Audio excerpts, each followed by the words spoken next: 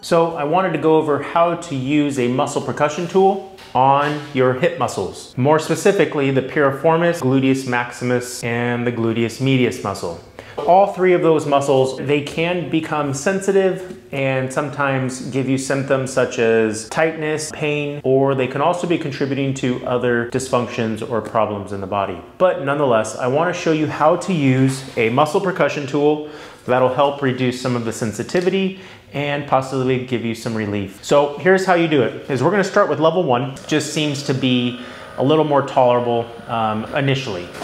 So what you're gonna do is lie on your side. Here we go. So the area you're gonna target is the gluteus medius muscle, which is right on the side of the hip here. And you're just gonna go in a slow, controlled manner, just kind of spanning all the way across the side of the hip there. You can go a little bit higher, a little bit lower on that area, explore that side portion of the hip on that gluteus medius muscle. You may find some areas that are a little more tender than others. Go and spend a little bit of time there. I'm not applying pressure down into my hip. I'm just using the weight of the tool. However, if you do prefer and feel like deeper pressure would be helpful for you, but then by all means, do it to your tolerance.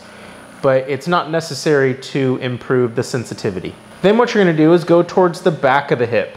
So if you feel that there's a bone on the side of the hip here, if you start there and work towards the back, you'll hit a few of the hip muscles, such as your quadratus femoris, the piriformis, the gluteus maximus, all those muscles on the back side of the hip there. You'll start using the percussion on that area. Once again, some areas may be more sensitive than others. That is completely acceptable. Um, just spend a little time on those areas that are sensitive.